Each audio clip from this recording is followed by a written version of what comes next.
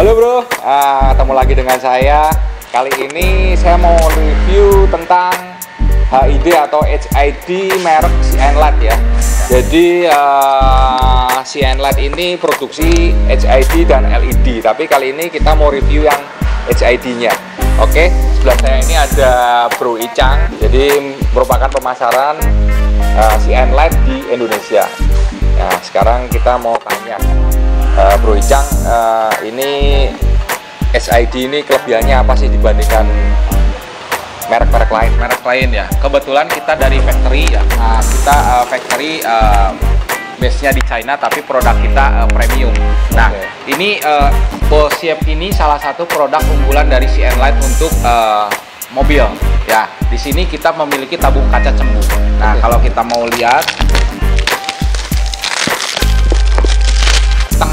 itu ada cembung.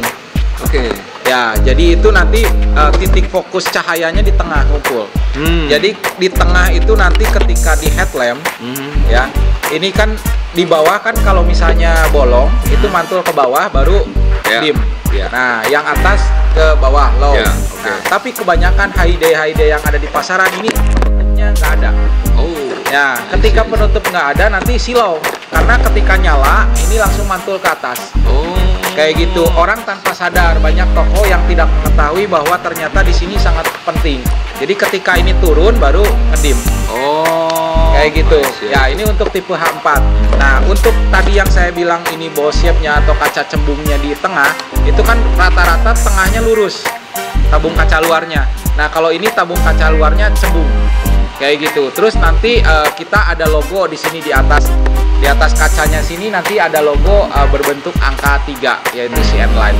Nah, itu eh, apa namanya? eh, barang asli kalau kayak seperti itu. Oke, Iya. oke. Berarti uh, si Enlight ini kelebihannya salah satunya dia ada ball shape-nya ini ya. Ya, tabung kaca cembung. Ya. Ini selain untuk nambah uh, Lebih sinarnya lebih fokus, terang, lebih fokus, fokus, ya. itu uh, Jadi ketika hujan itu kalau misalnya 6000 Kelvin itu pandangannya lebih lebih terlihat kalau untuk yang 6000 Kelvin. Hmm. Kayak gitu. Tapi untuk eh, yang tipe straight yang lurus itu eh, pandangannya agak sedikit glare kayak gitu. Oh. Nah, seperti itu. jadi uh, untuk sarannya juga 6000 Kelvin ya, bukan yang 8000. Eh, saran saya maksimal di 6000 karena apa? Titik mata kita tuh kalau melihat pencahayaan tuh lebih enak warnanya sebetulnya kuning.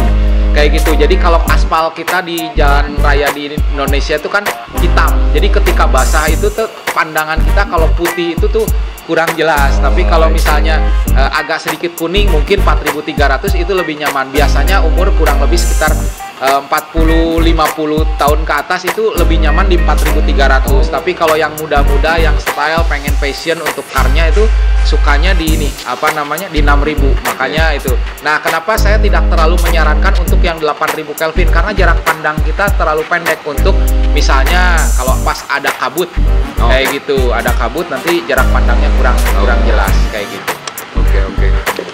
Uh, terus untuk garansinya sendiri, garansinya itu dua tahun. Kayak gitu. Terus uh, terus yang Ya. ini uh, kita ada tipe H11 nah tipe H11 nya berbeda. Biasanya untuk fog lamp ya. ya ini untuk fog lamp dan ini bedanya dengan dengan merek yang lain. Itu banyak orang tidak menyadari ini. Jadi tabung kacanya ya selain cembung luarnya Hmm. ada logonya Hmm. ya ini keramik bawahnya jadi tahan panas Oh. jadi kebanyakan ada yang plastik ada yang dicopin cuma pakai kawat dijepit kayak gitu pernah nggak mendengar ada yang misalnya fog lampnya angus berasap itu karena eh, karena ini kan panas jadi dia ada percikan-percikan lama-lama kan namanya plastik sama lem itu kan Ya. lama-lama fog lampnya itu kan jadi hitam kayak gitu. Nah ini menggunakan keramik.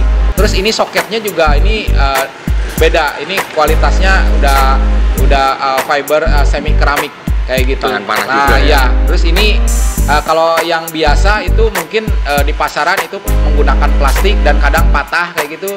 Terus yang ini karetnya juga beda. Kadang eh, karetnya ada yang eh, merah tua itu yang tipis. Nah kalau yang ini eh, beda.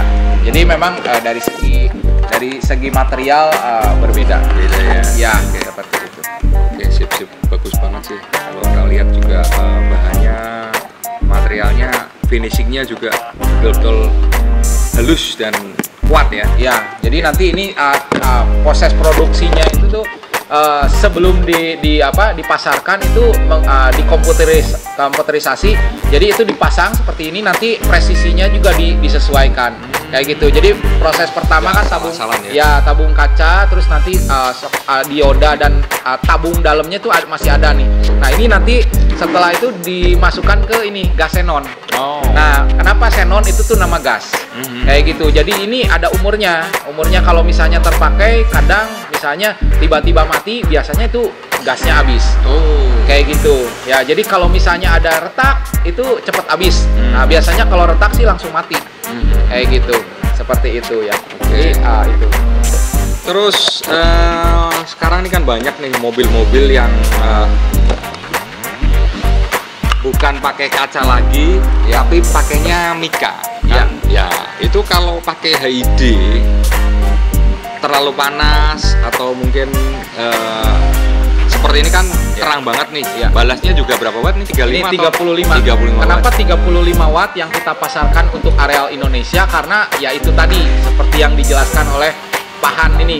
Itu reflektornya itu kan satu untuk hanya untuk diproduksi di eh, di apa dipasarkan untuk di Indonesia. Iya, iya. Jadi mika atau kaca pun itu hanya untuk eh, 35 dipa- watt Ya, ya, maksimal 35 watt. 35. Karena kalau saya bandingkan dengan eh, merek lain yang 55 watt, ini tetap lebih terang. Cuma Oke. kan 55 watt itu panasnya itu ini apa namanya eh, lebih lebih apa namanya merusak reflektor Oke. kayak gitu. Berarti kan kesimpulannya Ya.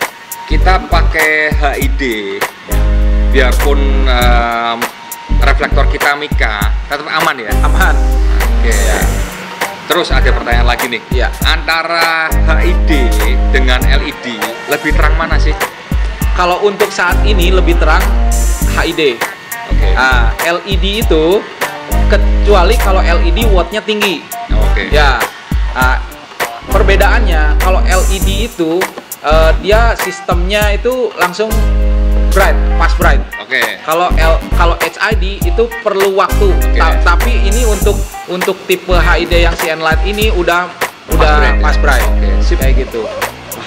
Luar biasa. Jadi si Enlight ini selain garansinya 2 tahun, dia juga produksi kemasannya, bukan kemasannya, produknya juga. Ya. Saya lihat, wah, betul-betul uh, speknya udah high class ya.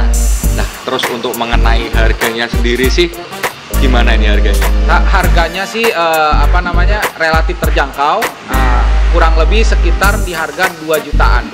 Ya, kayak gitu. Jadi si Enlight itu harganya 2 jutaan, tapi worth it banget dibandingkan dengan yang merek-merek lain yang harganya sudah 1, satu setengah koma beda katakanlah 500 ribu tapi kenyamanan ke- lebih terang juga keawetan Ya. lebih terjamin dan juga nggak merusak eh, reflektor ya berarti Ya, Nah, terus oke. eh, misalnya ada kerusakan itu ganti baru.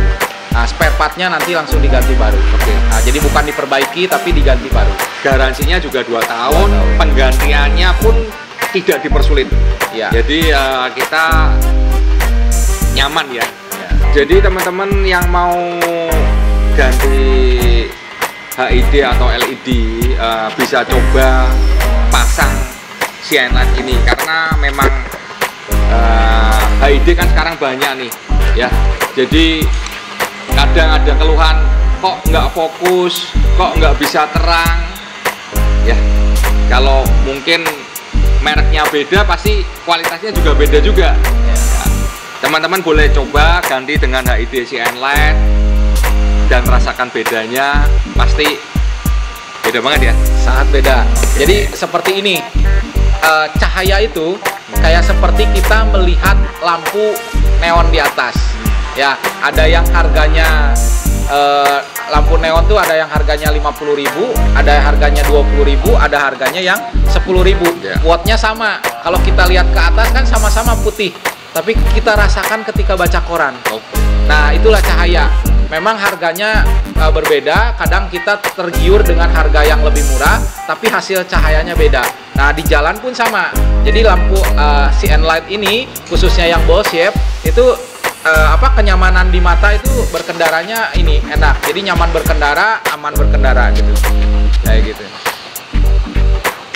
Oke tadi review dari uh, Bro Icang tentang CN Light. Jadi teman-teman yang mau pasang CN Light, HID maupun LED bisa datang ke BJM Auto Workshop dan kita merupakan uh, Ya, agen. penjual Ya. agen resmi dari CN Light di Indonesia ini. Jika mungkin mau konsultasi juga boleh. Sekian review dari saya. Jangan lupa mau ambil kegantengan, mungkin kenyamanan, Passion ya. atau apalah Ya, passion car. mobil lah. Ya. Bisa datang ke BJM Auto Workshop One Stop Car Solution.